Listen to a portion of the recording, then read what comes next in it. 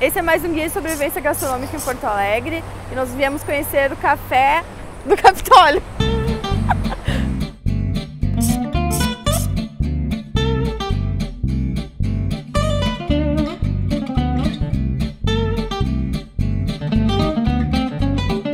Pedi um pão de queijo, um café, um cappuccino e um cheesecake de framboesa que tá, parece muito bonito.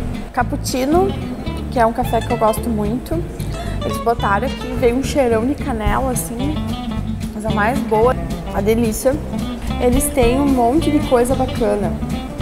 Eu vi que tem ali um, quiche, tem pastel integral, tem e tem pão de queijo, que é a coisa que eu mais gosto. É um baita de um pão de queijo. Chegamos no momento máximo, no ápice do nosso dia, que é comer esse docinho de framboesa. Olha só como ele é bonito, delicioso. Tem chocolate e essa framboesa em cima. Isso aqui tá tesão.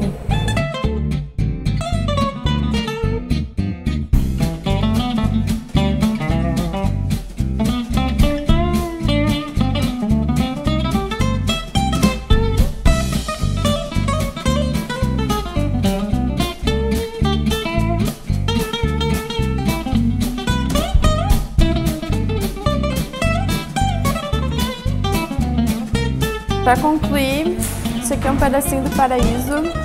Tem luz baixa, tem cheesecake de framboesa, que dá tesão. Esse horário que a gente tá tem pouca gente, mas geralmente tem bastante gente aqui. Tem sessão de cinema de terça e domingo e dá pra vir assistir um filme e vir aqui tomar um café e comer um cheesecake de framboesa. Uh, ajuda a gente lá no Apoia-se, se inscreve no canal, curte nós no Facebook, comenta, compartilha e beijo! Peraí. É guia de sobrevivência gastronômica. Esse é mais um guia de sobrevivência. Tudo que eu tá errado. Tá difícil isso. Deu? Deu.